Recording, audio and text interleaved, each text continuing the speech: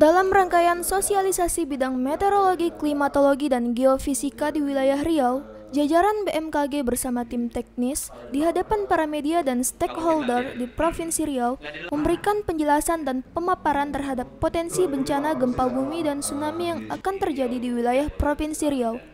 Berdasarkan kajian dan pengamatan, wilayah Riau berada pada tatanan tektonik dunia yakni berada pada pertemuan lempeng utama dunia di mana letak wilayahnya sangat berdekatan dengan negara Filipina dengan zona yang memiliki potensi tsunami terbesar. Sementara dalam hitungan terakhir, bencana juga sering terjadi di wilayah barat seperti tanah longsor, gempa dalam skala kecil, dan bencana lainnya. Hal ini juga tidak menutup kemungkinan wilayah Riau juga berpotensi senada apa yang disampaikan Daryono selaku Kepala Bidang Mitigasi Gempa Bumi dan Tsunami.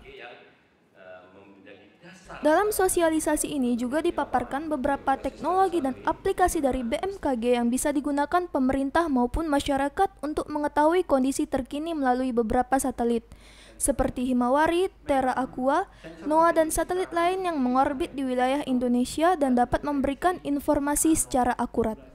Selain itu, satelit ini juga dapat memonitoring dan memberikan informasi tentang titik api, sebaran asap, dan debu vulkanik.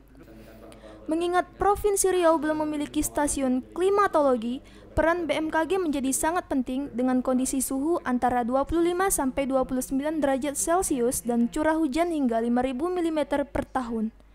Dengan demikian masyarakat juga harus lebih jeli dan paham jangan sampai salah persepsi dengan iklim saat ini.